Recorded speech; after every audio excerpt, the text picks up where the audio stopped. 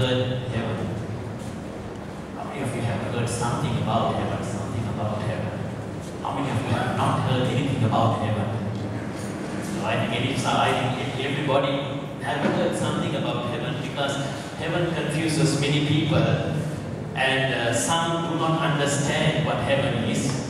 And on the other hand, some think they know everything that needs to be known about heaven and they say, okay, I'm not interested about it. Uh, sometimes people do not know and we do not know what God has uh, prepared for those who love Him. And unfortunately, sometimes heaven has got into the bad press. Whereas uh, those who do not understand uh, have, have got a wrong concept of heaven. Sometimes people think heaven is a place where you float in the sky with a halo around your head and you see angels floating and playing harps. Sometimes, you know, people think heaven is like a continuous church service where you continuously sing praises and worship and without an end. And so, so the concept of heaven is, is very varied because people really do not know and understand what heaven is.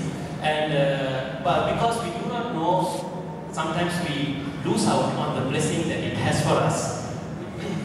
And before I start, I just want to tell you for those whose loved ones have gone to be with the Lord, that it is a place full of blessing it is a place that has no tear or sorrow. And those who have those who have loved ones who are nearing heaven, it's a place of great rest. So I just want to encourage you that there is no tear or sorrow in heaven. Especially these days, when, when we near Christmas, people begin to lose out on God and they begin to get caught up with the season living out Christ. And at this time is the time that we really need to focus on heaven because people lose out on heaven in the coming over the coming few months. They just go to the other side. And it is our time to make use of the opportunity and bring somebody near heaven where God can touch their lives. So this is why we have all organized the Christmas trees. This is why we give you cards for you to pray so that we all can take part and bless someone with heaven when the whole world is getting ready to go out of heaven. Okay, so let's read some scriptures from Jerusalem 21, verses 10 to 14 and verse 21. Shall we read it together? Can you read it with this? Is it difficult? That's difficult. Okay, so then I think we will go to the other slide because the other uh, it's difficult to read we will go to the other scripture, right? We'll all read it together, Revelations 21, verses 10 to 14, and verse 21.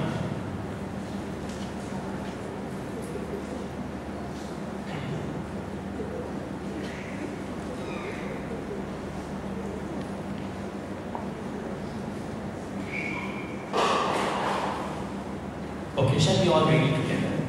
And he carried me away in the spirit to a great and high mountain and showed me that great city, the holy Jerusalem, descending out of heaven from God. Shall we all read it together? Having the glory of God, and her light was like unto a stone most precious, even like a jasper stone, clear as crystal,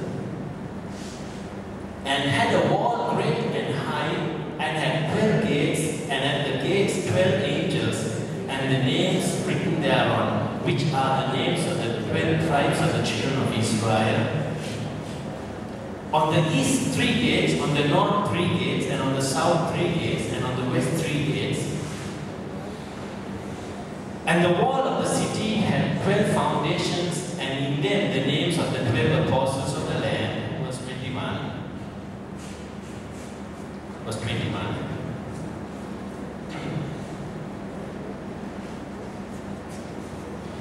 And the twelve gates were the twelve pearls. Every several gate was the one pearl, and the street of the city was pure gold, as it were transparent glass. Now, how many of you have seen heaven?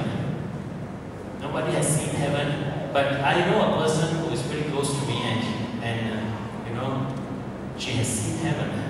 And uh, this is uh, a testimony, right? Let me share this with you. A person known to me. She was led by Jesus into a beautiful place. It was a garden with many beautiful flowers and very varying colors. Some of the colors were not seen on earth. Jesus was holding her hand and was taking her along different pathways made out of pure white gold. She couldn't describe it words. The flowers were transparent and had a glassy appearance. This was what's described as pure gold in the Bible. On another instance, she was fed with golden balls with taste similar to Turkish delight. She described the streets and pathways of heaven as pure white, transparent, shiny gold.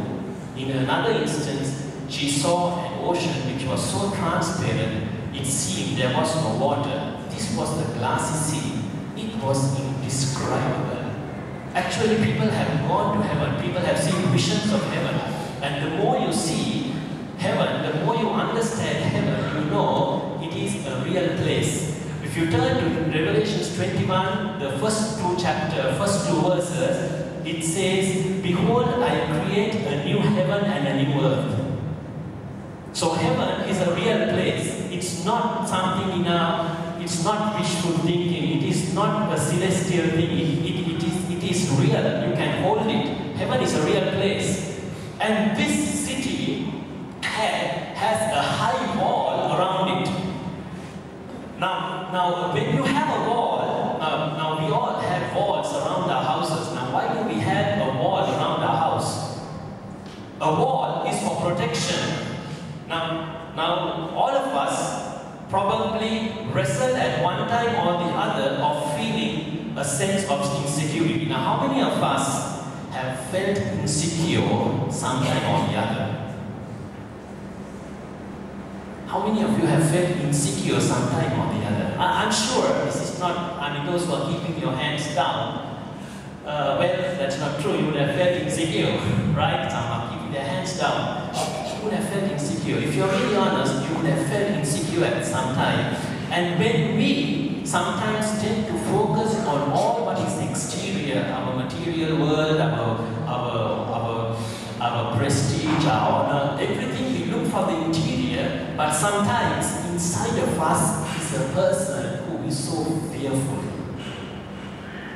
We look so much to the exterior, but inside is a fearful person cringing and waiting in hope, waiting for a hope.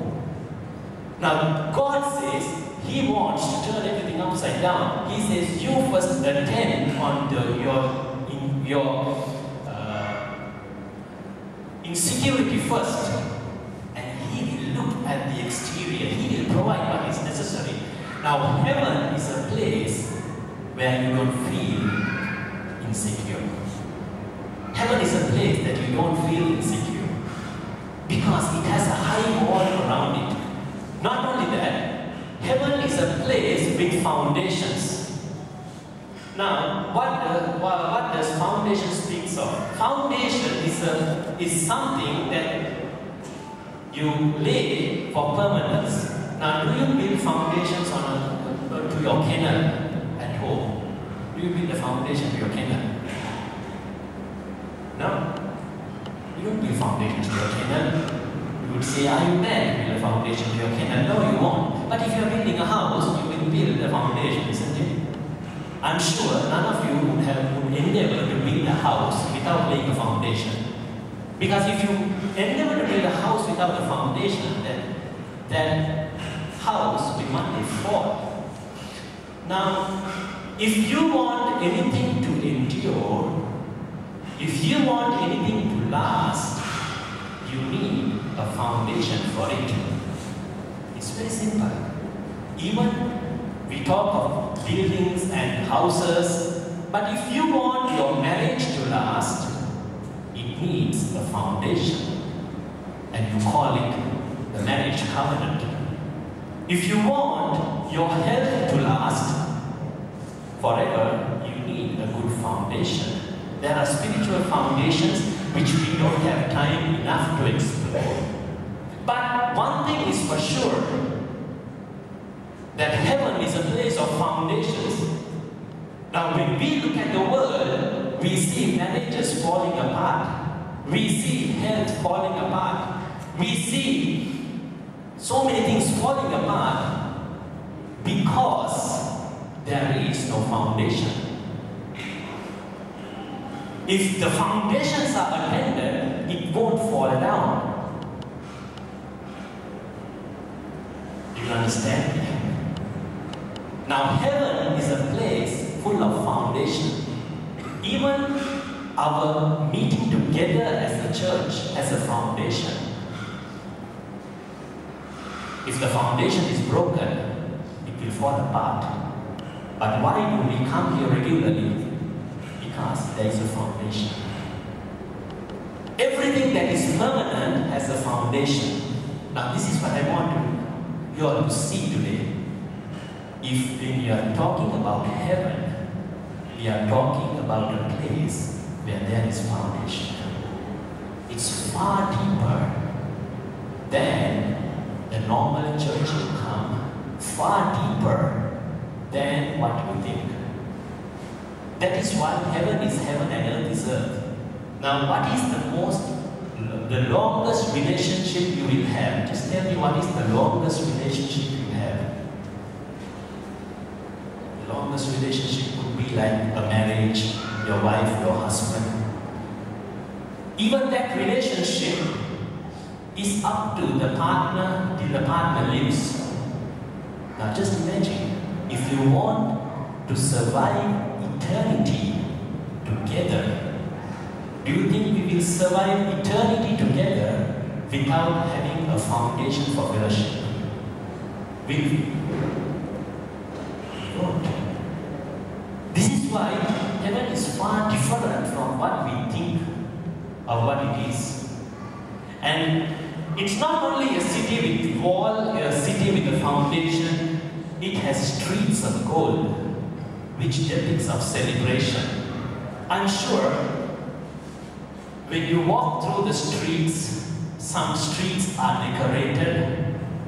You walk through some exhibitions, they are decorated, and what is the what is the feeling you get there? You get a sense of celebration. And this is what we're going to create on the 13th of December, Christmas trees. We want to create a celebration. In heaven, there is continuous celebration. And I will come a little uh, uh, later to this point of celebration. But heaven is far superior to what we know. If you go there, you will find you, you are a person of substance, not a shaky, easily shaky person. Are a person of substance. You endure, you have hope forever. Right. Now, the early church gathered their hope by the understanding they had about heaven. If you read with me 1 Peter 1 3 to 9, 1 Peter 1 3 to 9, shall we all read it together? 1 Peter 1 3 to 9. Blessed be the God and the Father of our Lord Jesus Christ, which according to his abundant mercy hath begotten us again unto a lively hope by the resurrection of Jesus Christ from the dead. Verse 4. To an inheritance incorruptible and undefiled, and that fadeth not away, reserved in heaven for you, who are kept by the power salvation, ready to be revealed in the last time, wherein ye greatly rejoice, though now for a season, if need be, here in heaviness through the manifold temptations, that the trial of your faith be much more precious than of gold that perisheth, though it be tried with fire, might be found under the praise and honor and glory at the appearance of Christ. I we stop there. This is Old English. You may have found it difficult to understand sometimes, but this is what it was.